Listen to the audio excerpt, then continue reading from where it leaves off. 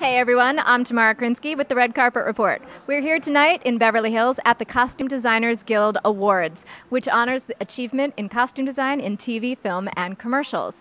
Now, I want you to close your eyes for a minute and picture Kerry Washington clad in all white, striding into her office, rallying her gladiators. Or Amy Adams, clad in a dress that goes down to there, channeling the sexiness and strength of the 70s. Or Jared Leto, dressed in a beautiful dress, breaking our hearts. These are just a couple of the iconic images from this year's nominees, and we'll be talking to their designers to find out why they are indeed a cut above the rest. All right.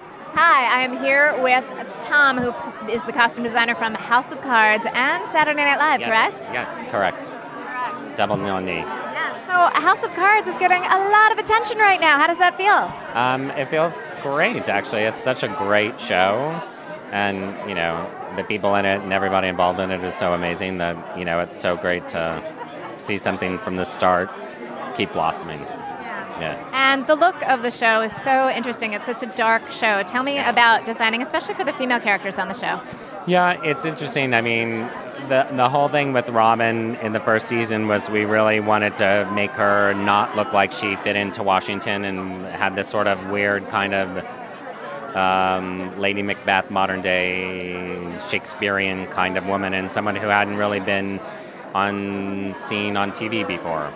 Well, she's definitely a unique icon. Yeah, no, she is, and you know, I, I, I, like to say, you know, the thing about I think one of the things that made such a strong impact is Robin's hair, and so you can't take, you know, the clothes were one thing, but the hair like made was just sort of like the icing on, you know, and then you have an amazing actress who knows how to act so beautifully. so then, on the flip side, you also work with Saturday Night Live. I do. I do. Yeah, I try to think that um, it's like sort of my two brains. One is sort of the comedy brain, and one's the drama brain. But but I like to think that I approach comedy by way of drama, so it's kind of toes the line. And a lot of people, you know, when they think achievement in costume design, they think, you know, a big fantasy piece or a historical piece. But how do costuming and comedy go together?